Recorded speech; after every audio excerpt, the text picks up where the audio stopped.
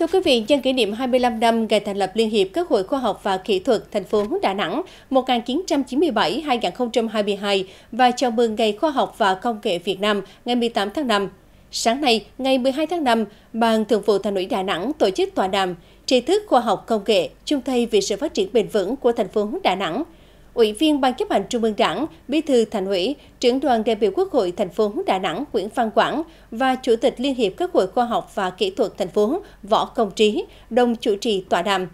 Dù hội nghị còn có Ủy viên dự khuyết Ban chấp hành Trung ương Đảng, Phó Bí thư Thường trực Thành ủy, Chủ tịch Hội đồng nhân dân thành phố Lương Quyển Bình Triết, Chủ tịch Ủy ban Mặt trận Tổ quốc Việt Nam thành phố Ngô Xuân Thắng, Phó Chủ tịch Ủy ban nhân dân thành phố Ngô Thị Kim Biến, Phó Chủ tịch Liên hiệp các hội khoa học và kỹ thuật Việt Nam Phạm Quang Thao cùng trong thảo đội ngũ tri thức khoa học công nghệ tại địa phương.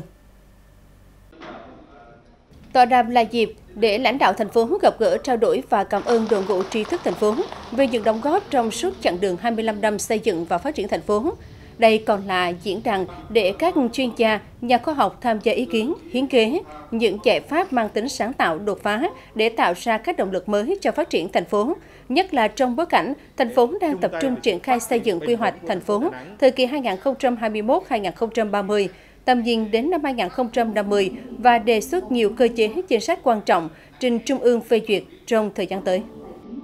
Công tác xây dựng đội ngũ trí thức được Đảng ta đặc biệt quan tâm và được thể hiện xuyên suốt trong các nội dung văn kiện qua các kỳ đại hội Đảng toàn quốc.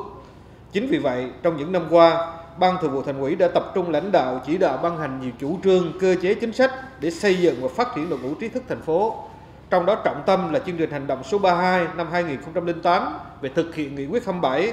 của Ban chấp hành Trung ương khóa 10 về xây dựng đội ngũ trí thức trong thời kỳ đẩy mạnh công nghiệp hóa hiện đại hóa đất nước. Chương trình số 36 ngày 13 tháng 1 năm 2020 của Ban Thường vụ Thành ủy về triển khai thực hiện chuyên đề phát triển công nghiệp công nghệ cao, xây dựng Đà Nẵng thành trung tâm khởi nghiệp, đổi mới sáng tạo tầm quốc gia là khu đô thị sáng tạo khoa học công nghệ đạt đẳng cấp quốc tế, có sức cạnh tranh cao để thực hiện nghị quyết 43 của Bộ Chính trị về xây dựng và phát triển thành phố Đà Nẵng đến năm 2030, tầm nhìn 2045. Tôi rất mong các đại biểu quan tâm, thảo luận, góp ý, hiến kế thêm cho thành phố về vấn đề tăng trưởng về cơ cấu kinh tế thành phố, nhất là sau đại dịch Covid-19,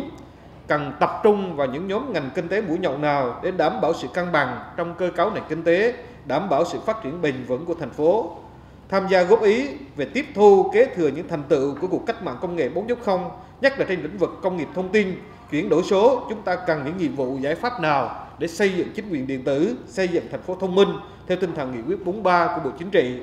tham gia về việc thành phố tập trung huy động nguồn lực, thu hút đầu tư xây dựng và phát triển công nghệ cao Đà Nẵng gắn với xây dựng khu đô thị sáng tạo khoa học công nghệ đạt đẳng cấp quốc tế có tính cạnh tranh. Tham gia về vấn đề đào tạo nguồn nhân lực chất lượng cao trong cả hai khu vực, khu vực công và khu vực tư về đào tạo phát triển thu hút trọng dụng đãi ngộ nguồn nhân lực tại một số ngành lĩnh vực mũi nhọn của thành phố Đà Nẵng trong thời gian đến.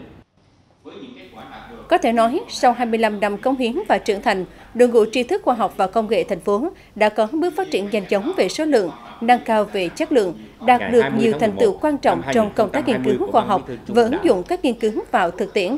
Tại tòa đàm, Liên hiệp các hội khoa học và kỹ thuật thành phố Đà Nẵng cũng đề xuất kiến nghị nhiều nội dung nhằm góp phần phát huy sức mạnh nội tại, tạo ra các xung lực phát triển mới